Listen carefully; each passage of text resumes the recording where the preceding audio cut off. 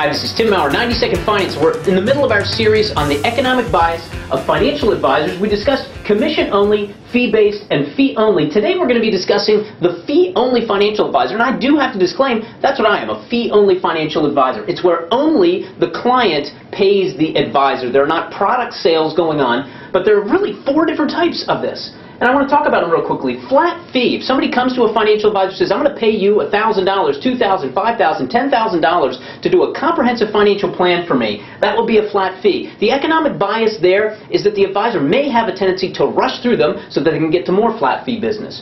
Hourly. With hourly, you're on the clock, kind of like talking to an attorney I think this is a very, very good model, the Garrett Financial Planning Network, for those who are interested. But the problem there is they could stretch the work. That would be the economic bias of an hourly financial planner. The retainer-based is where they establish a rate for, for your entire year's worth of financial advice going on into the future. And there again, they might not necessarily have an incentive that the assets under management financial advisor does. The AUM model, which is the most prevalent in the fee-only realm, is where they charge you a percentage of the assets that they are managing in addition to the comprehensive financial planning that they offer throughout.